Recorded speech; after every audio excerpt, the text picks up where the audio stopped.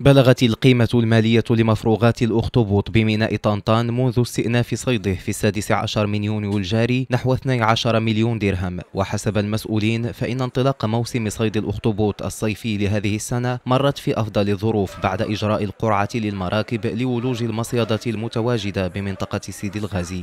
آه هذه المؤشرات آه مبشرة بالخير وتعد بموسم صيفي آه واعد وجيد بعد آه، ظروف يعرفها الجميع ظروف الجائحة وغيره. ونتيجة لهذه المؤشرات سيلعب الأخطبوط دورا مهما في تحريك النسيج الاقتصادي والاجتماعي بالإقليم خصوصا وبجهة قلميم عموما.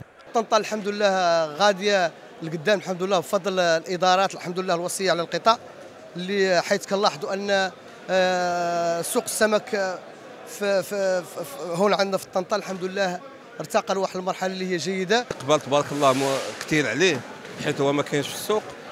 والمارشي مزيان المسؤولين مزيان النظام مزيان كل شيء مزيان.